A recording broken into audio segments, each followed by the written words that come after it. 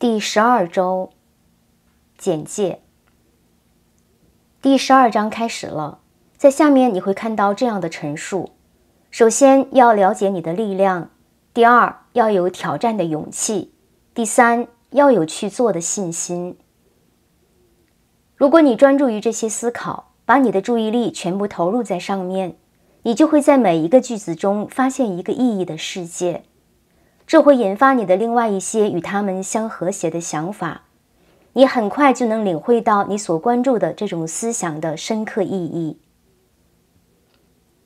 知识不会应用自己，我们作为人类个体必须将其辅助应用，而应用就在于用充满生机的目标去浇灌思想之花，使之丰饶。很多人的努力漫无方向，浪费了大量的时间、想法、精力。如果用来朝着志愿中的某些特定的目标努力的话，可能会创造出奇迹。为了做到这一点，你必须集中你的精神力量，定位在某一特定的想法上，排除一切杂念的干扰。如果你曾经观察过照相机的镜头，你就会知道，假如不对准镜头，物体产生的影像就会模糊不清。而当你调整好焦距，图像就会变得清晰明朗起来。这说明了集中精神所具有的力量。如果你不能把精力集中在你所期待的目标上，你只能得到一个朦胧暧昧、模糊不清的理想轮廓，其结果与你的精神图景相一致。第十二章一。科学的把握思想的创造性力量，生活中的任何目标都可以得到完美的实现。二，这种思考力是人所共有的。我思故我在，人的思考力是无限的，因而创造力也是无限的。三，尽管我们知道思想为其客体而生，最终拉近我们与客体之间的距离。但我们还是难以驱散那些恐惧、焦虑、气馁的情绪，他们也同样具有强大的思想能量，不断的让我们渴望的东西离我们渐行渐远，常常使我们进一步退两步。四，唯一让我们可以避免后退的方法就是不断前进。成功的代价是永远保持警醒。有三个绝对必要的步骤需要你去做。首先。要了解你的力量，第二要有挑战的勇气，第三要有去做的信心。五，有了这个做基础，你就可以为自己构建理想的事业、理想的家、理想的朋友以及理想的环境。你不会被材料或成本所限，思想是无所不能的，有能力为其所需的一切动用第一实体的无限银行。因此。无限的资源尽在你的掌握之中。六，不过你的理想必须明朗、清晰、确切。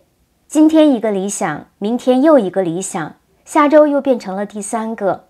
这意味着你耗散了自己的力量，必将一无所成。后果就是浪费人力物力，让一切变得混乱不堪，毫无意义。七，然而很不幸。许多人都招致了这样的后果，原因是不言自明的。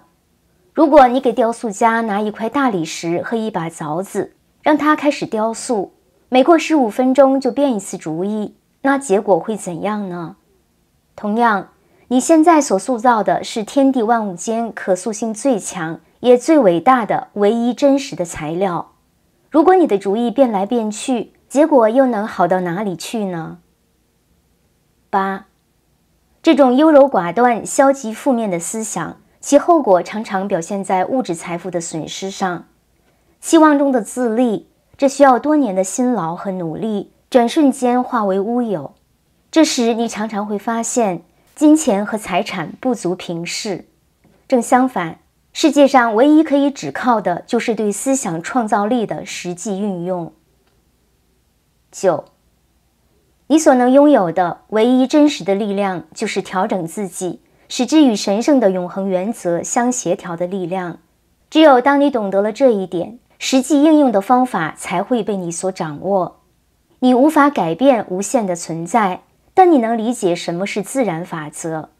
作为回报，你会清楚认识到你拥有这样的能力：调整自己的思考力，以适应无所不在的宇宙思想。你所拥有的这种与全能力量协调合作的能力，预示着你的未来会取得怎样的成就。十，思想的力量有许多鱼目混珠的赝品，它们或多或少能让人迷醉一时，但它们所带来的后果非但无益，反而有害。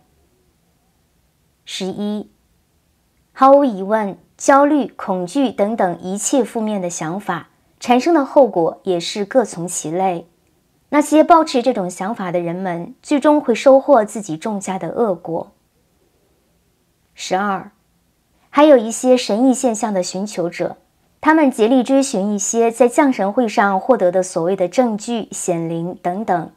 他们打开了心灵的大门，沉醉在毒害作用很深的精神世界的潮流中。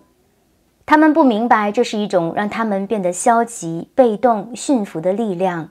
这种力量让他们沉迷于这种思想形式中，并且最终将使他们精神耗尽、元神大伤。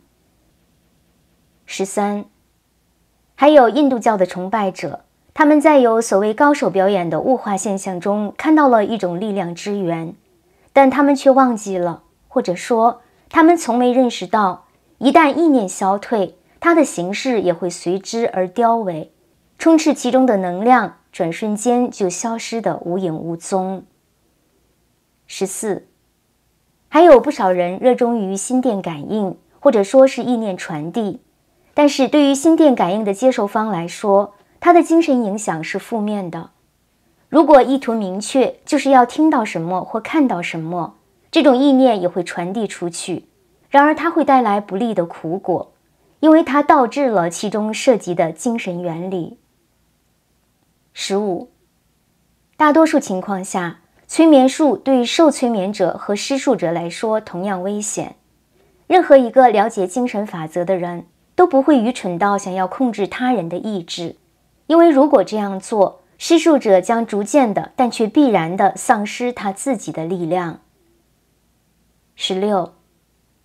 所有这些曲解都有其暂时性的满足，甚至有一定的迷惑力，但是在对内在世界力量的真正领悟中，却蕴藏着更大的无限的魅力。这种力量会随着对它的使用而不断增长，它将永恒存在，而不是稍纵即逝。它不仅能起到补救的功效，弥补以往错误思想的结果，也能带来预防的作用。保护我们免受种种形态、种种样式的危险的侵害。最后，精神力量还是实际存在的创造性力量。借助这种力量，我们可以为自己创造新的环境和际遇。十七，其规律是：思想与其客体相关联。在精神世界中思考或产生出来的东西，在物质世界中都会一一对应的实现。这时，我们绝对必须看到，每一种思想都有与生俱来的真的萌芽。只有这样，生长规律才能把善注入到外部显现中，因为只有善才能赋予永恒的力量。十八，赋予思想以动态的力量，使之与其客体相关联，并因此控制着一切不利的人类经验的法则，就是引力法则。它的另一个名字就是爱。这是一个永恒的基本法则，在万物之中，在一切哲学体系、一切宗教、一切科学中，它都是与生俱来的。一切都离不开爱的法则。它是一种赋予思想的活力的情感，情感就是渴望，而渴望就是爱。在爱中孕育而生的思想，将会所向披靡，战无不胜。十九，我们发现。无论在哪里，只要理解了思想的力量，这一真理就得以强化。宇宙精神不仅仅是智慧，也是物质。这种物质是一种吸引力，它是电子通过引力法则聚在一起形成原子，原子又通过同样的法则聚在一起形成分子，分子又形成物质的客观形式。所以，我们发现，爱的法则是一切现象背后的创造性力量。不仅创造了一个个原子，也创造了整个世界、整个宇宙，以及想象力能够赋予形态和观念的万事万物。二是，正是通过这个奇异的引力法则的运行，使世世代代的人类相信，一定有什么人格化的存在，可以对人们的祈求和心愿做出回应，并操控着大小事件，以应允人们的需求。二十一，思想和爱的结合形成了不可抗拒的力量，这种力量就是引力法则。一切的自然法则都是不可抗拒的，比如重力法则、电力法则或其他法则，它们都有着数学的精确。这一法则从未改变，只是分发力量的渠道可能并不完美。如果一座桥倒了，我们不能把它的坍塌归咎于重力的法则发生了改变。如果电灯不亮，我们也不能得出电力法则不再可信的结论。同样，如果引力法则在一个没有经验或一无所知的人身上表现得并不完美，我们也不能认定应该对这个最伟大、最正确、整个宇宙体系都赖此而生的法则提出质疑。相反，我们应该知道自己对这个法则的了解还有欠缺，就像在一个数学难题中，我们并不总是能很迅速、很容易地得出正确答案。这两者的道理是一样的。二十二，事物都是先在精神世界或心灵世界中被创造出来，然后才在外在的行为或事件中出现。今天，通过控制思想力量的简单过程。我们帮助创造了将来发生在我们未来，甚至是明天生活中的事件。要想把引力法则落实在行动上，有根有据的愿望是最有效的手段。二十三，人是有这样一种特点的：他必须首先创造出工具或器械，然后利用这工具获得思考的能力。大脑中如果没有脑细胞和一种全新的理念发生共振，人的思想就肯定不会接受这种理念，这就是为什么我们很难接受或认可一种全新理念的原因，因为我们的大脑中没有能接收这种信号的细胞，因此我们产生怀疑，我们不相信它。二十四，因此，如果你尚未了解引力法则的全部力量，不了解它如何运行的科学方法，或者。你还不知道无限可能性的大门敞开着，凡是能够利用这种资源的人，可以对它予取予求。那么，从现在开始吧，创造出需要的脑细胞，让你自己体会到这种无限力量。只要你与自然法则协调一致，这种力量就会属于你。而要做到这一点，你必须通过专注心神或集中意念。二十五。意图控制着注意力，力量来自休息。通过集中意念，深邃的思想、睿智的谈吐和一切至高的潜力都可以发挥出来。二十六，在寂静中，你和潜意识中无所不能的力量建立了联系，一切力量都是从这里发展出来的。二十七，渴望智慧、力量或者任何不朽成就的人。都会在内在世界中找到这些，内在世界会不断为你揭示各样的奥秘。粗心大意的人可能会认为寂静非常简单而且容易实现，但是要记住，只有在绝对寂静的状态下，才能够触摸到神本身，才能领悟到永恒不变的法则。通过一年集中和坚持不懈的练习，你就会为自己打开通往完美的大门。二十八，这一周仍然进入那间屋子，坐在那张椅子上，保持和先前同样的姿势，一定要放松，让心灵和肉体都保持自然的状态，始终如此。绝对不要在压力下进行任何的精神劳作，神经和肌肉都保持放松的状态，让自己感觉舒适。现在要意识到自己与全能的力量是和谐一致的。与这一力量建立起了联系，深刻领悟、理解、感知这样的事实，你的思考力就是你作用于宇宙精神并使之彰显的能力。